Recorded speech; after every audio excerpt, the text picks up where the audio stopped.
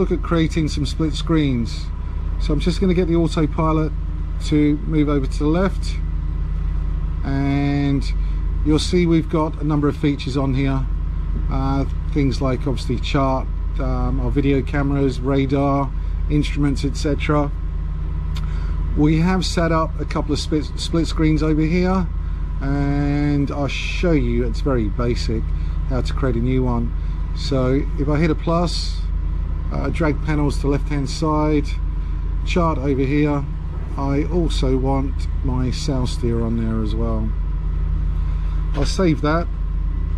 And you'll see that we've now got our apparent wind angle, our true wind angle all of our sail steer instruments. Were still in chart plotter.